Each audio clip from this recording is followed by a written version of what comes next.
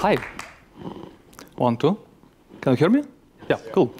Um, I'll be talking about uh, uh, event-driven systems backed by MongoDB, about how to build uh, reliable systems and uh, some pitfalls that might occur during the process.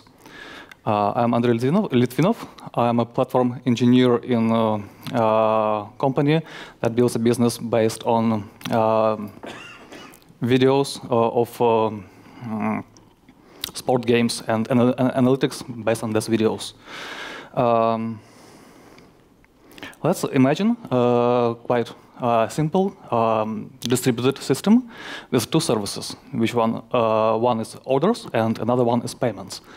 Uh, and uh, let's consider uh, the place on the order command is um, uh, sent to our service via the API. Uh, when we process some logic, we persist uh, the state to a database, and uh, we publish the event to a message broker, so that other service, in this case payments or any other service in the system, can um, react on the event and uh, finalize or complete the transaction with a payment. Uh, when it processes the event, it persists the state to a database and uh, publishes um, payment accepted event back to message broker. After um, the original service of orders can complete the processing and send a response uh, back to the consumer that the, uh, the entire transaction was um, successful. Um, let's consider uh, the case when uh, we successfully uh, persisted, persisted the state, but uh, some failure happened in our service. It was a cache uh, crash caused by either out-of-memory exception or a network issue or any other um, problem with the service. So we couldn't successfully uh, dispatch or publish the event to message broker, and our payment service was not able to even know about the um, the event that happened and that uh, it needs to perform some logic, some operation to complete the transaction. So our system uh, ended up in inconsistent state, which is obviously not good. Um, so uh, the key point uh, I want to make in, with my talk is that we um, have to persist uh, the state and uh, publish an event atomically. But it's not obvious right away how um, to achieve the atomicity of persisting the state and publishing the event. And uh, it took me some while uh, to figure out how to do it, especially with um, NoSQL databases. Um, probably one of uh, the obvious approaches uh, would be to use distributed transaction. But uh, in most cases, distributed transactions are uh, slow. They can degrade the performance a lot. And in um, scalable systems, it's not viable to use distributed transactions or two-phase commit. Another possible approach could be to use write-ahead logging when uh, the service first tries to uh, write an intention, uh, intention about the operation, and after that uh, perform uh, the actual write.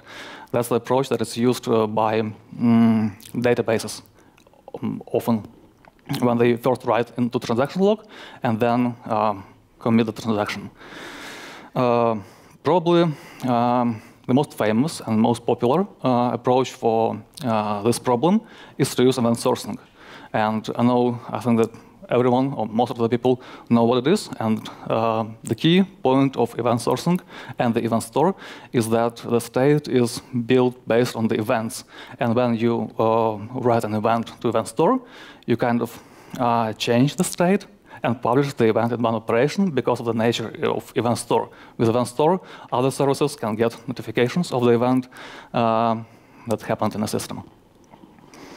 Uh, but in our case, um, as the topic says, we were using MongoDB, and it was not viable to use event sourcing because we would need to change the entire system otherwise, and it would uh, require a lot of efforts. So we were looking to some better um, ways to do it. And another, probably uh, well-known, um, famous approach for uh, SQL uh, databases or relational databases. It's called application events or message outbox when service persists the state in one table or set of tables and the domain event to the other table in the local transaction. Because SQL databases uh, support local transactions and they are often uh, quite performant. And if we don't use any um,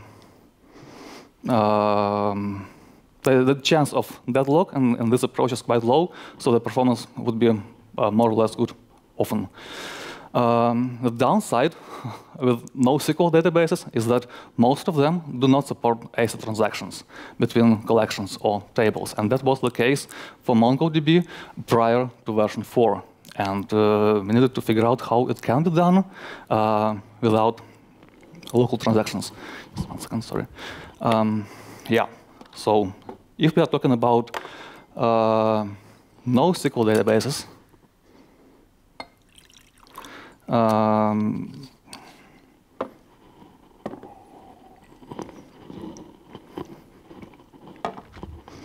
talking about NoSQL databases. They are designed for scalability and reliability, and they have a mechanism of replication. It's basically uh, their internal uh, mechanism where the database writes all the uh, changes to the data uh, to so-called transactions log or replication log. And uh, knowing that, uh, when we persist the state, we can see the operation that appeared in transaction or operation log.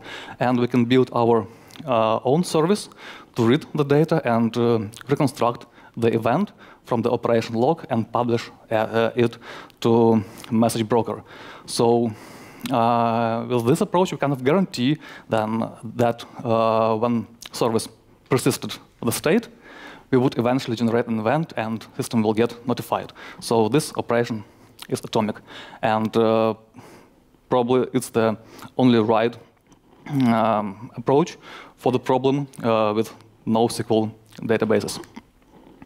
And what are the options for uh, emitting the event from uh, replication log in uh, MongoDB? We could use uh, operation log tailing and uh, read the data directly from, um, from the operation log. And it is a proven, reliable mechanism.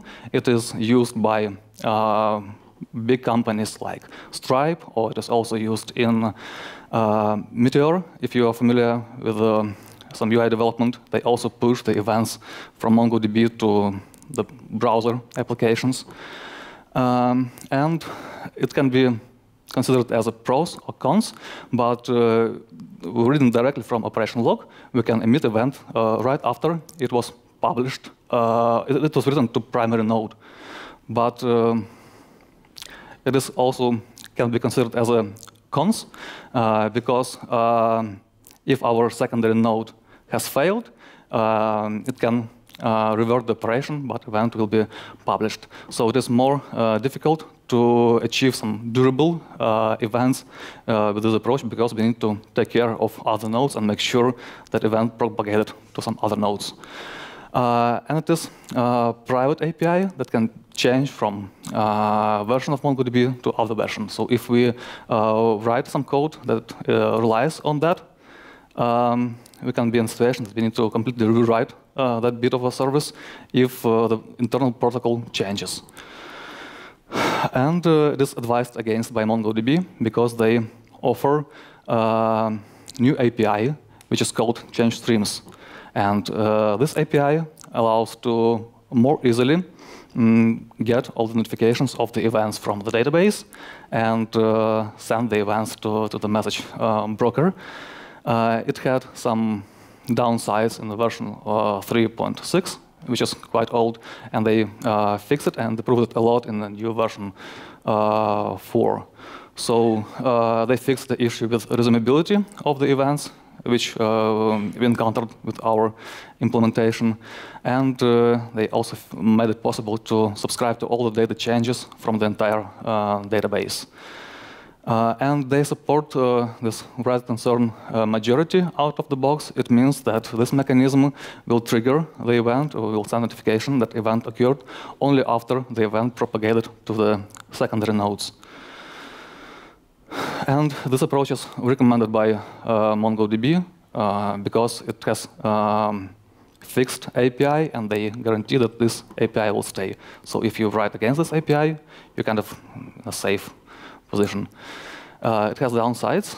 If for some reason you don't want this write concern majority, uh, you have no way uh, to, to avoid it. So in some cases, and I will explain a bit later, you might want to still uh, fall back to the operation log tailing.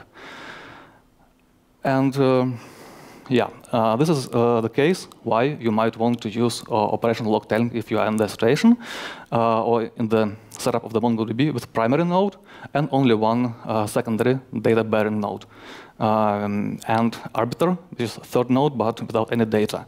And that is because if the secondary node will go down for some reason and only one node primary will remain, uh, no events will be emitted by the change stream until the secondary node will be will uh, join again the cluster, and uh, that will mean uh, that you might end up without no events for like a day or two days. Um, we had similar uh, case in our system.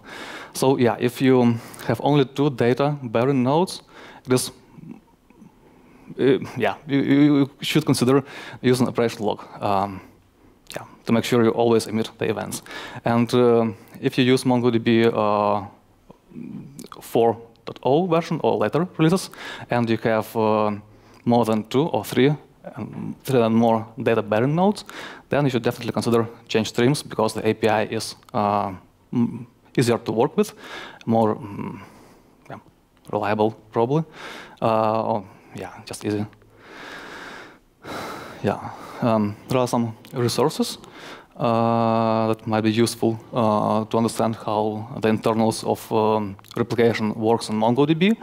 And uh, the very good uh, article about modeling aggregates by Vaughn, um, which helps to understand better. Well, yeah, on the Europe conference, think everyone knows how to define aggregates, but still very useful um, article. And thank you for listening. Yeah.